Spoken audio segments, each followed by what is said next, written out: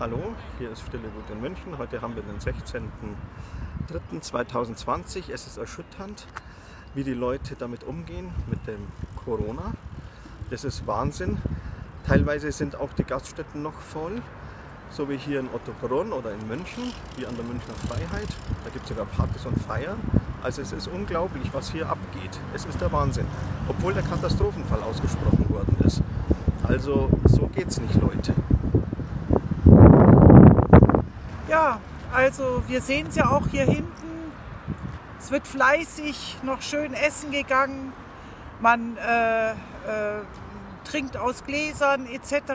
bla bla. Man hat ja noch nichts davon gehört, wie man sich sozusagen schützt, beziehungsweise auch als potenzieller Träger schützen sollte, vor allen Dingen die Umwelt schützen sollte, vor allen Dingen seine Mitbürger auch für seine Mitbürger bestimmte Maßnahmen äh, einhält. Nein, die Leute sind einfach komplett ignorant, die meisten zumindest, die irgendwie kein Hirn haben, äh, die einfach irgendwie meinen, das läuft ja alles so, fällt ja keiner um, ist ja alles super.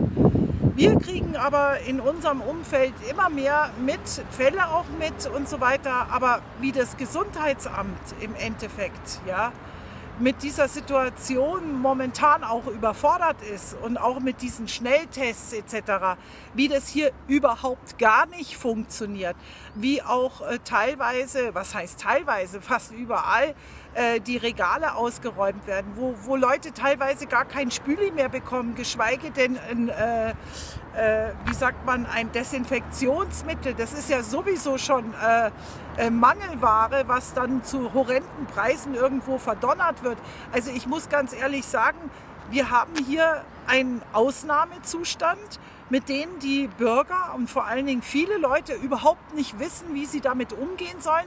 Für sie ist es irgendwie wie so ein Science-Fiction-Film, aber die Realität sieht so aus, dass jeder hier, jeder von uns, ja, eine Verantwortung hat. Und zwar eine Verantwortung für unsere Mitmenschen, für unsere Mitmenschen, weil jeder von uns kann Träger sein, unabhängig davon, ob er jetzt sich angesteckt hat, auch selbst äh, äh, mit, dann mit der Gesundheit zu tun hat, ja, ähm, ist er, jeder ist dazu angehalten, ja, für seine Mitmenschen, für seine Mitmenschen mitzudenken und zu sagen, nein, ich gehe nicht in ein Lokal und sauf mir da, lutsch da die, äh, die Gläser ab und, und esse von dem Besteck etc.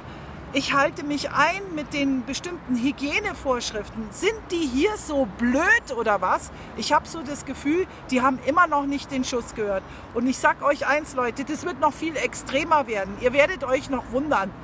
Und dann vielleicht haben sie den Schuss gehört. Aber wahrscheinlich müssen diese Leute erst einmal so richtig die Grenze reinkriegen, dass sie reagieren. Also Fakt ist, passt bitte auf, auch für die anderen. Habt ein bisschen soziales Denken, ja? Das ist ja anscheinend hier ziemlich brach. Also, bis dann. Tschüss. Stille Wut in München.